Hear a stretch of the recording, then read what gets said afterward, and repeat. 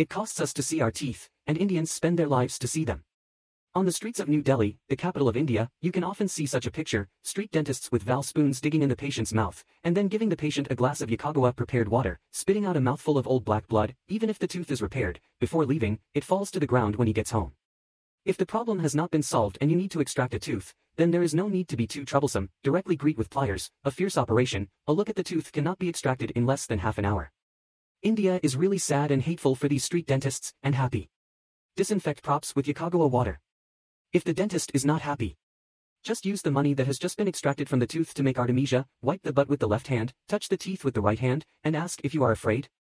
Expensive dental care should be the common point of all countries, whether it is Europe or Asia, the cost of dental care and filling teeth is ridiculously expensive, so what should poor people do with tooth extraction? They can't afford to go to a regular dental hospital, they can only seek street dentists, cheap is really cheap, extraction of teeth only costs 5 yuan, implants of nail